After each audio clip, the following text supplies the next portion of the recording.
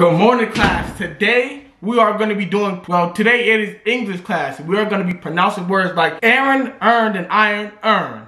All right, that should be easy and slight because Aaron earned and iron earned. I do not want to hear earn, earn, earn, earn. All right? Jamal in the back, I want you to go first. This should be easy for you. Earn, earn, and earn, earn. Nah, dummy. Earn, earn, and earn, earn. Damn, what the fuck? We really talk like that? Earn, earn, earn, earn.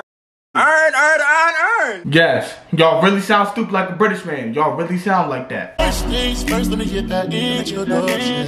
We on the long road to self-destruction. You so in love, you wanna tell me nothing. Let me get this clear, 'cause I had no idea. Up like.